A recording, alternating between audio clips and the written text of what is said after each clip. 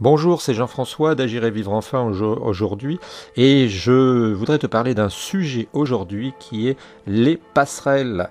Alors j'espère que tu vas pouvoir euh, t'abonner, hein, un petit clic droit euh, pour t'abonner sur la chaîne et puis euh, aussi tu vas pouvoir liker notre vidéo parce que vraiment j'ai essayé d'expliquer quelque chose de très important qu'il faudrait que tout le monde connaisse mais que peu de monde connaît.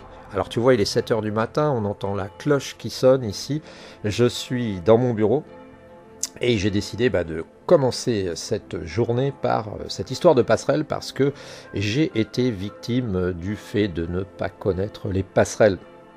Alors qu'est-ce que ça veut dire et qu'est-ce que c'est qu'une passerelle? Eh bien je vais t'expliquer.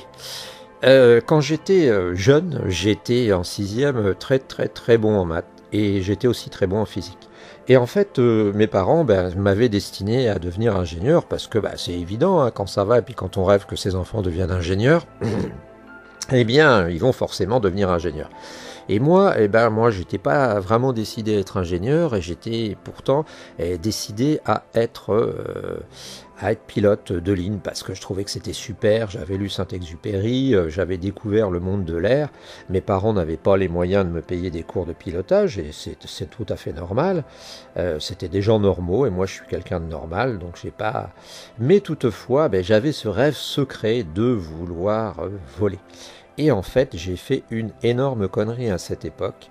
C'est, et j'ai rencontré beaucoup de monde qui, qui faisait du, qui volaient même, hein, des gens qui avaient leur, des, des, brevets de pilote et qui m'ont dit qu'à cette époque-là, aussi eux ont fait la même erreur. Quelle est cette erreur? Euh, parce qu'en fait, ce que je ne t'ai pas dit, hein, c'est qu'arrivé en terminale, eh bien, je me suis rendu compte que mon niveau n'était pas, tout en étant pas mauvais en maths, mon niveau n'était pas, j'ai fait une terminale C, mon niveau n'était pas quand même celui d'un euh, maths sup, maths p.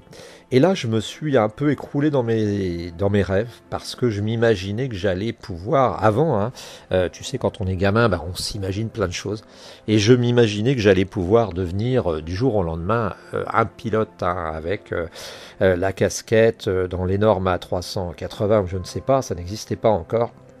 Mais euh, j'allais devenir pilote. Et là, j'ai été vraiment très, très, très. J'ai pris un coup sur la tête et j'ai fait une chose, j'ai fait une erreur que j'aurais jamais dû commettre et pour laquelle euh, on peut dire je pourrais mordre les doigts. Cette erreur, je vais te la dire, cette erreur, je te la dis, c'est de ne pas avoir su qu'il n'existait pas qu'une voie royale qui se serait appelée l'ENAC ou je ne sais pas euh, l'école d'Air France des pilotes. Et ça c'est très important à comprendre, très très important. Pourquoi? Eh bien tout simplement parce que euh, quand, tu, es prêt, quand, quand tu te formes, hein, quand tu commences, quand tu es étudiant, eh bien tu crois souvent qu'il n'y a qu'une seule passerelle, qu'il n'y a qu'un seul moyen d'arriver au euh, à ton résultat. Et ça s'appellerait la voie royale, tu vois. Hein. c'est un peu comme quand tu grimpes l'Everest. Bah, tu t'imagines qu'il n'y a qu'une voie. Alors je la connais pas parce que je suis pas un spécialiste, mais c'est ça qui euh, s'est passé et ça c'est ça qui se passe. Et ça c'est très préjudiciable parce que en fait ça m'a foutu dedans. Je suis je allé faire d'autres études. Bon, j'ai fait un autre métier, j'ai fait une autre carrière et finalement je ne regrette pas de ne pas avoir été ingénieur, au contraire. Mais euh, ce rêve d'avoir été pilote reste toujours coincé un peu au fond de ma, gorge, au fond de mon, mon, cerveau, et je me dis que j'aurais dû agir autrement.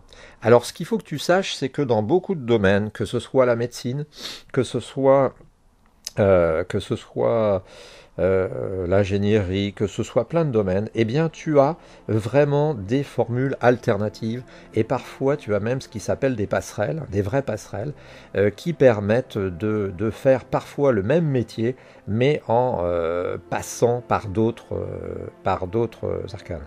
Par exemple, si tu es si tu veux passer le concours de vétérinaire, prenons un exemple, eh bien tu peux faire une prépa, mais tu peux aussi passer par la fac. Par exemple, si tu veux continuer à faire, euh, si tu veux travailler dans la santé, alors je sais que ceux, euh, qui ont qui se sont plantés sur une ou deux passesses, on leur dit de quitter carrément, on leur conseille de quitter le, navire en leur disant euh, si vous continuez à travailler dans la santé, vous serez toujours sous le sous la, coupe de, de, médecins. Et dans ce cas-là, ben, vous, vous, rappellerez sans arrêt où vous auriez pu être médecin, mais ils ne sont pas forcés d'être médecins. Ils peuvent, euh, s'ils ont raté leur passesse, et eh ben, ils peuvent essayer de devenir kiné. Ils peuvent essayer de, de, faire d'autres écoles et ils peuvent rester dans le même secteur. Moi, je sais par exemple que si j'avais voulu travailler avec l'aéronautique, eh bien, si j'étais, euh, si j'avais voulu m'accrocher, eh bien, j'aurais pu simplement aller faire mécanicien d'avion et de, de, de de fil en aiguille, hein, puisque un mécanicien d'avion, ça essaye les avions quand ça les fait fonctionner, hein, dans les aéroclubs, ça pouvait être aussi... Eh bien, j'aurais pu faire quelque chose, j'aurais même pu devenir pilote par euh, la petite voie, par la petite porte, c'est-à-dire en, euh, passant mes qualifs euh, en indépendant. Et ça, je ne le savais pas, tu vois. Alors on va dire, oui, mais maintenant il y a Internet, les gens savent tout.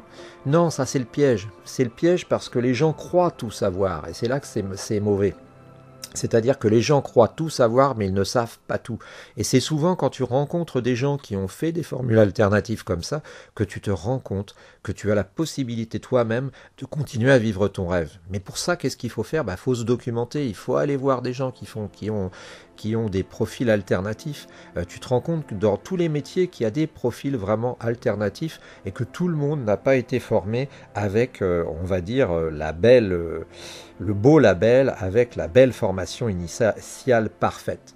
Voilà, c'est ce que j'avais à dire. Surtout penser aux passerelles, hein. surtout ne pas se désespérer et se renseigner au maximum. Aller, si tu t'intéresses à l'aéronautique, sur les terrains d'aviation, sur les, aller contacter du monde, passer sur un par internet pour euh, bloguer et essayer vraiment, vraiment de trouver des alternatives. Hein. Je te dis, si, si j'avais su, bah, j'aurais, j'aurais passé euh, à quelque chose de mécanicien, je serais resté dans le secteur et j'aurais peut-être passé des qualifs. Alors pas forcément des qualifs de pilote de 747, hein, euh, mais peut-être que j'aurais eu un petit avion taxi entre Paris et chez nous, je ne sais pas, hein, je ne sais pas.